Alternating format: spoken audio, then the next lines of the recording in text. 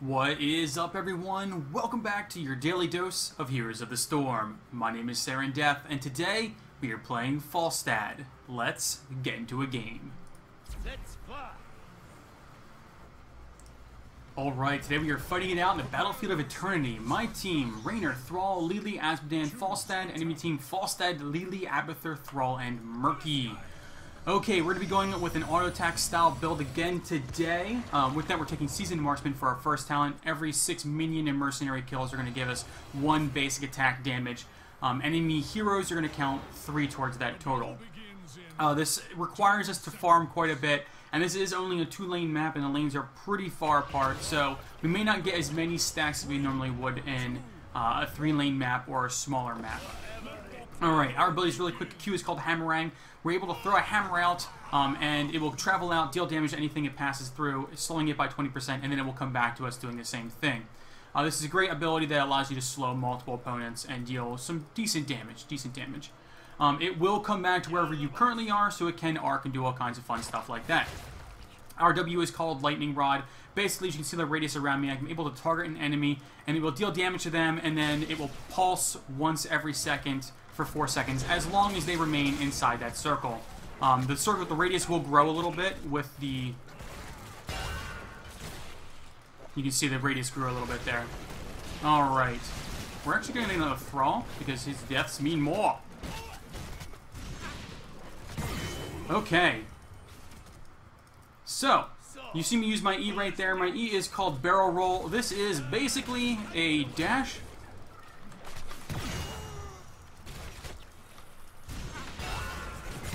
Alright, it's basically a dash that's going to give us a small shield as well. Okay, our trait is called Tailwind. Tailwind is a very interesting ability. Um, basically, whenever we don't take damage for 6 seconds, we're going to get 20% movement speed. This is kind of how we get around the map. We don't have a traditional mount. Instead, we're kind of left with this. We're actually going to tap because the...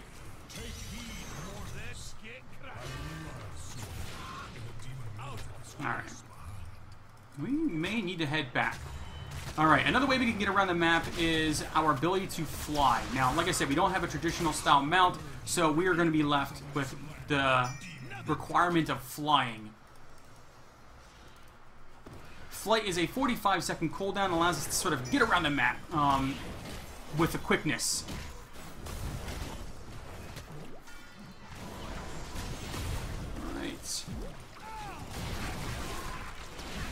Tried slow. Wasn't able to do so. Alright, we have no mana, we have very little life, we're gonna need to back out completely here. I'm going to retreat, and then I'm going to come back and hopefully be able to do something here. And this time here, we're taking Vampiric Assault. Now, Falstad is a very, very squishy ass uh, assassin. He takes a lot of damage, and this is just going to allow us to sort of stick in the fight longer from taking the, the AoE. Now, if we get focused, it will not help us at all, so we need to be very careful with that.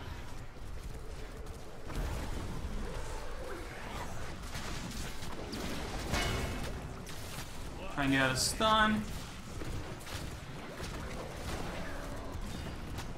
Alright, it looks like we're going to be able to get this guy down, no problem. Okay, and we've win the first Immortal. We got this. Let's see where it goes. He's going to go top. Azmodan's going to continue to push the bottom lane. That is not a bad call.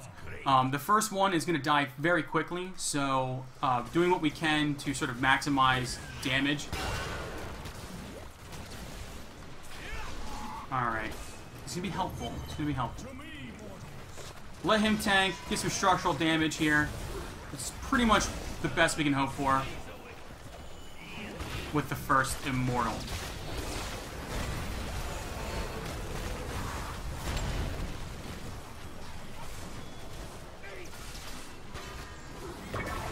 Kill the Murky Egg. Need to get better at using the uh, the attack function instead of just trying to right click and go in. Um, there's actually an, a button you can hit. It's default A. It allows you to move and attack in that at that location. I need to get much much better at doing that. We should probably take this.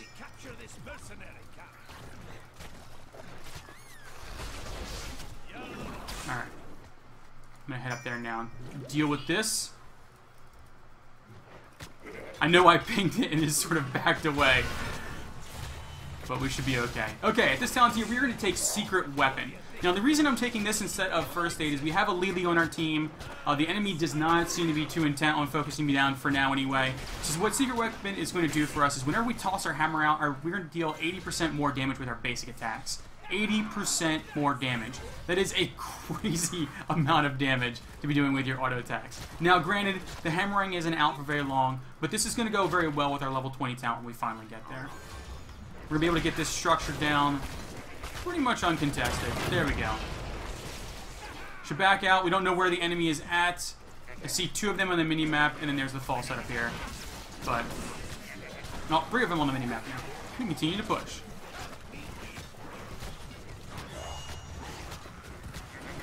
Immortal should be coming up here soon.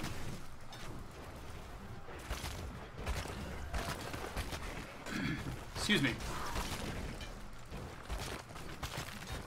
Alright.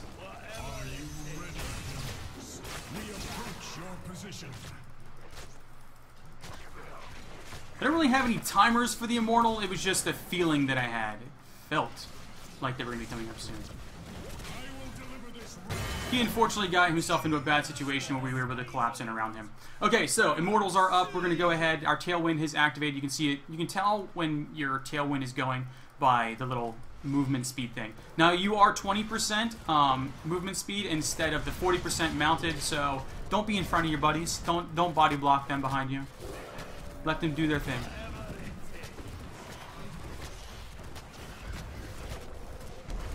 Alright, we're going to toss this thing out, deal some extra damage. Unfortunately, Lili is um, a pretty pretty heavy counter to both myself and um, and our Raynor character, uh, player because of the uh, the blind on her E. Makes it a very big problem for us. Trying to get out of the stun.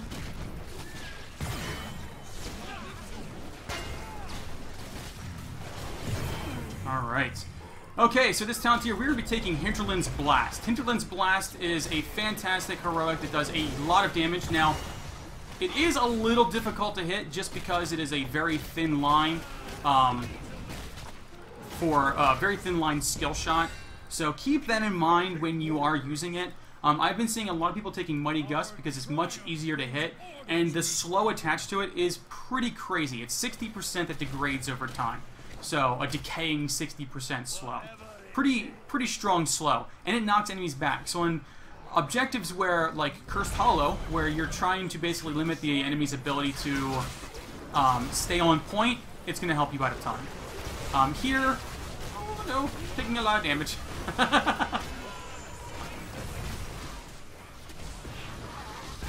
Bam, Hinterland's Blast.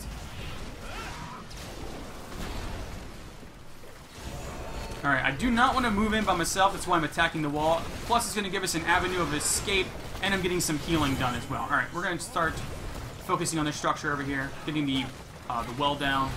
I'm blinded. As you can see, the blind is so strong!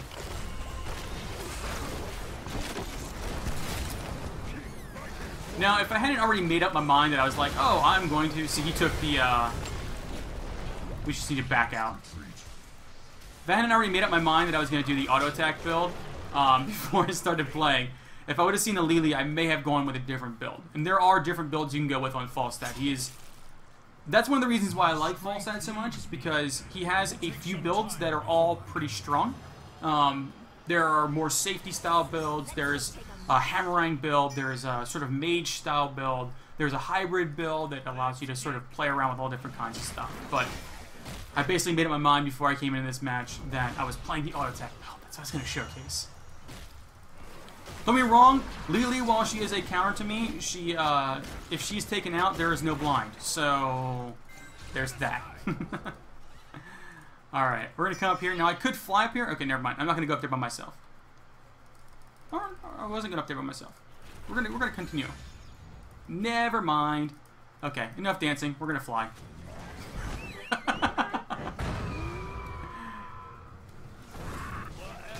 I love the sound effects for this this new skin. Um, I just love it. Love it, love it, love it. Alright. So we're gonna take Giant Killer at this talent here. Now, if you look at the enemy team, they don't have a lot of high health heroes, so that you're not gonna be getting much out of Giant Killer. But extra damage is still extra damage. Um, extra damage on your auto attacks, they're still gonna hurt. It's it's still extra damage, like I said, and extra damage is exactly what you're looking for.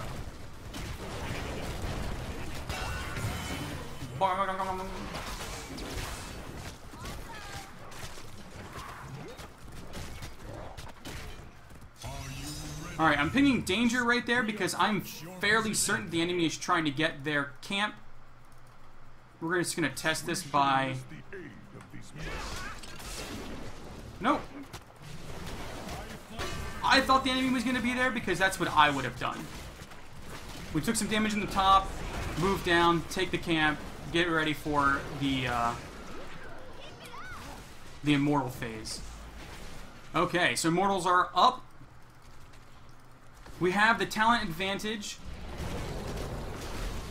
It's uh, not going to be there for much longer. I completely, uh, I guess I didn't completely whip with that, but my eyes are glued to the mini map, trying to. I'm in a bad spot. I don't want to be that far forward.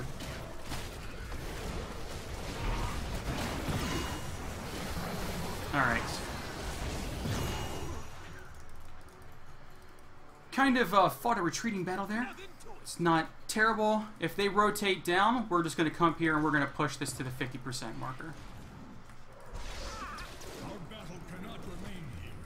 There we go. This is going to give our teammates time to get up and then get back out here. We get lucky. Okay, we did not get lucky. So we're going to defend this.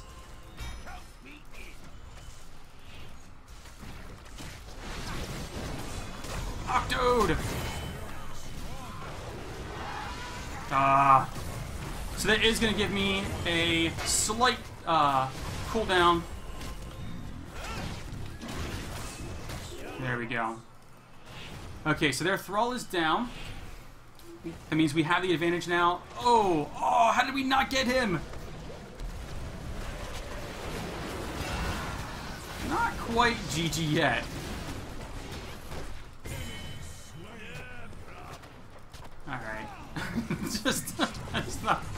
I keep losing focus and getting hit by stupid stuff, like the stuns and things like that. Oh my word. Okay, so it's gonna go to the top lane. Looks like Thrall wants to push in the bottom. This is not a bad call. Um, when we get the minion wave up in here, they're gonna have to either, you know, deal with us or uh, deal with the immortal on the top, will push in very quickly because there's a wave up there as well. Just uh, be cautious when doing stuff like this because the enemy can still turn things around on you. Um, and with the current state of the game, there is a lot that uh, the enemy can do to really throw you. Oh no!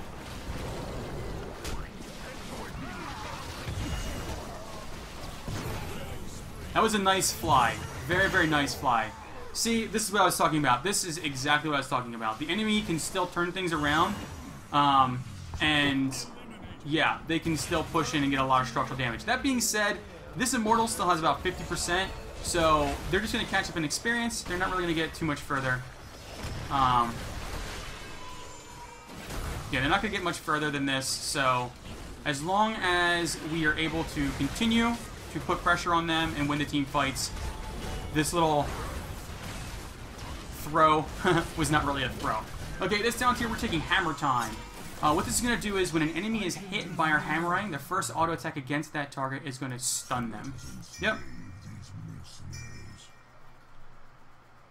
Good call. Get the camps.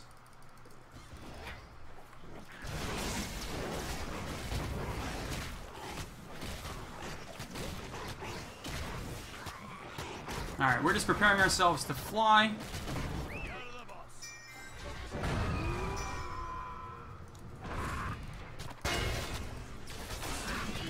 So as you can tell, this gives us uh, the, the capability of getting around the map very quickly. Flight is a huge advantage, and it's one of Falstad's greatest strengths. Uh, the ability to sort of just get to where you need to get to.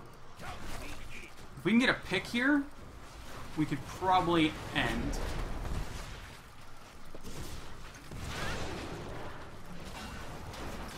Alright, we're not all here. Oh, not quite.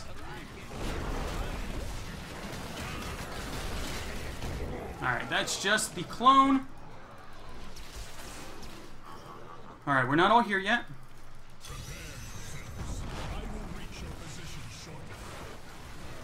I'm just trying not to get into a bad position here.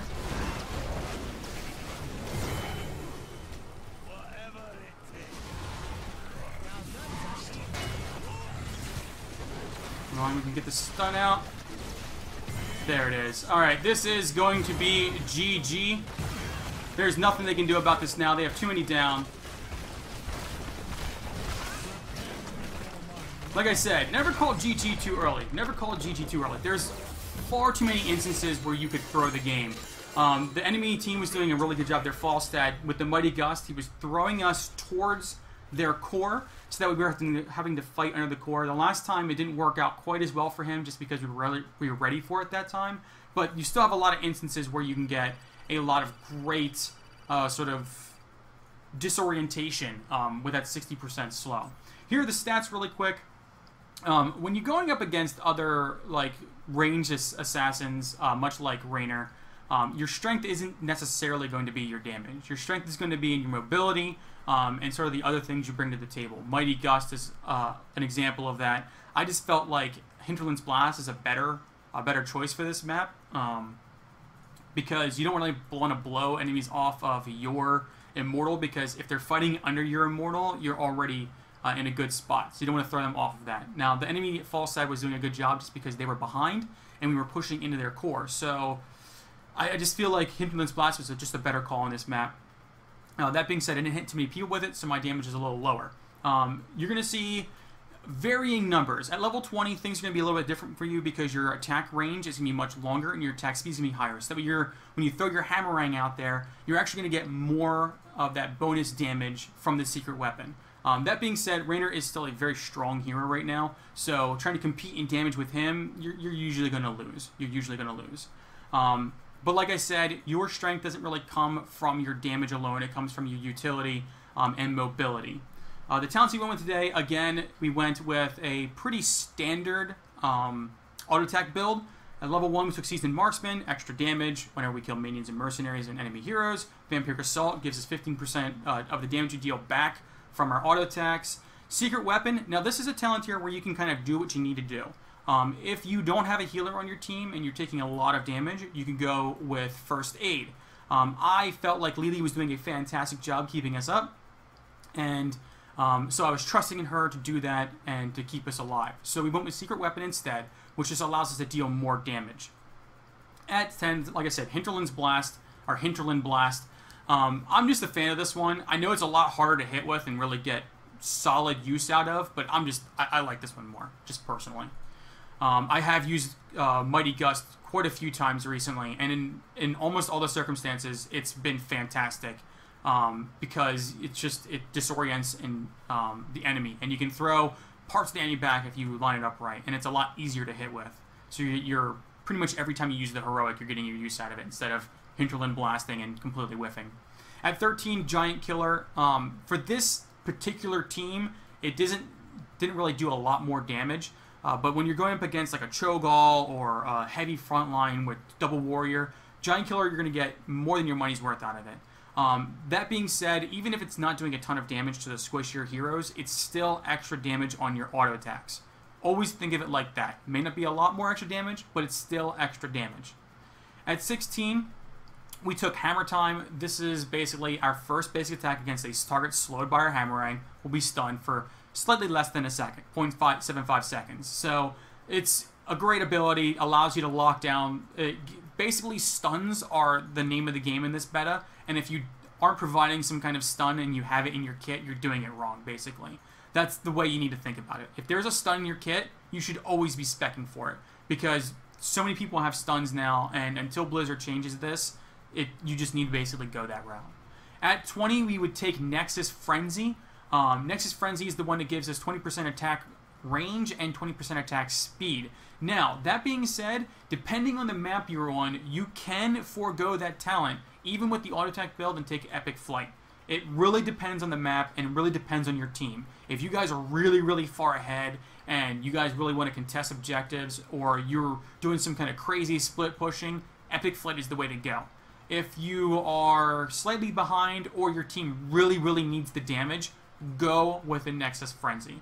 Like I said, that is one that is 100% up to you. It's like the level 7 talent. 100% up to you and what you need for that map and for your team. But, uh, yeah, so uh, the Heroes of Storm, like I, I'm going to be putting out a video here soon about a channel update. Um, Heroes of Storm is going to be sticking around, guys. I'm going to be bringing out videos. I'm trying to do something a little special with one of the videos every week that should hopefully change things up a bit. Um, but I'm going to be changing the series. Probably not going to be every single day I'm putting out a Heroes video, maybe three times a week. So it's just going to be called Heroes of the Storm. Um, so keep your eyes peeled for more of those.